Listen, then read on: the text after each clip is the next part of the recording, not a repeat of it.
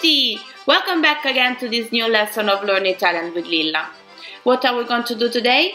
We're going to learn more about the verb essere and stare. If you are new to the channel, please subscribe. If you like the video, please leave a thumbs up. If you have any doubt, please leave a comment. We already talked about verbo essere, the conjugations and when we have to use. Today we're going to go very fast on the verbo essere. We're going to talk mostly about how we use verbo stare. Verbo essere and verbo stare, they have the same past participle, stato.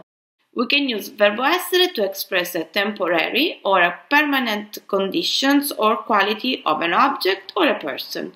We usually use verbo essere with an adjective. For example, we can say Giorgia è bella or la rosa è profumata. Verbo essere also expresses the location. We can say Dov'è Luca? Luca è a scuola. Or Torino è in Piemonte. Roma è in Italia. And the last but not the least, c'è e ci sono. We know that c'è e ci sono is the translation for there is and there are. Flavia already talked about c'è e ci sono, how to use it in the past, in the present. You can check her video. Let's go to verbo stare. The conjugation of verbo stare is io sto, tu stai, lui sta, noi stiamo, voi state, loro stanno. We can use this verb in many different ways. Let's start, for example, to express a temporary psychological or physical state. I can say, come stai? How are you? We don't use the verbo essere because we are talking about a physical psychological state which is temporary, can change. Sto bene, I'm fine. Come sta Lucia? Sta male. In this case, we use the adverb, which is different when we use the verbo essere with an adjective. We also use the verb stare when we are expressing a condition or if we are in a place. For example, we can say stare in silenzio, which means to keep quiet. We don't say sono in silenzio, we say sto in silenzio. Or we can also say sta zitto, be quiet. We use the verb stare also in this case.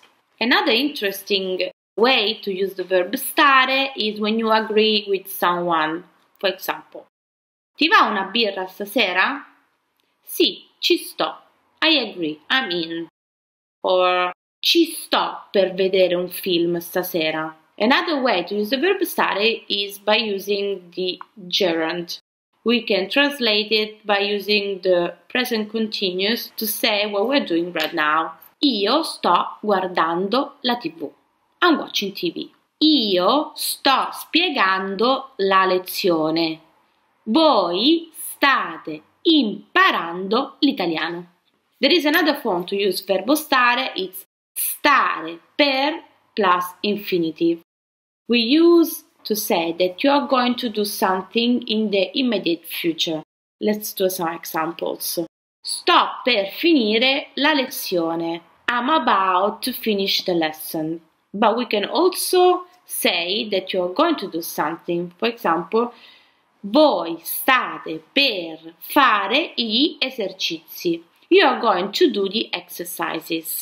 There is another way to use verbo stare which is reflexive. For example, we can say Come mi sta questo vestito? How do I look in this dress? Questo vestito ti sta bene. If you want to know more about the reflexive pronouns, you can check my video. We saw that there are many ways to use verb stare, but sometimes we can confuse it with the verb essere. If I ask you come stai, you can say sono felice by using verb essere and an adjective. Otherwise, you can say io sto bene by using an adverb. In this case, we have to use verb stare. If I want to say that I'm on a diet, I can say sono a dieta or sto a dieta. You can say both ways, would be the same meaning. Just for fun, let's learn some idioms with the verb stare. Stare allo scherzo. Stare allo scherzo means to play along with a joke. Or stare ai patti, to keep a pact. Sta a te decidere. It's up to you to decide. It's very, very common to find this expression. This is the end of the video. I hope you enjoyed it. Spero che siete stati bene. Let me know if you have any doubt and leave a thumbs up if you liked it. I'll see you the next time. Ciao a tutti!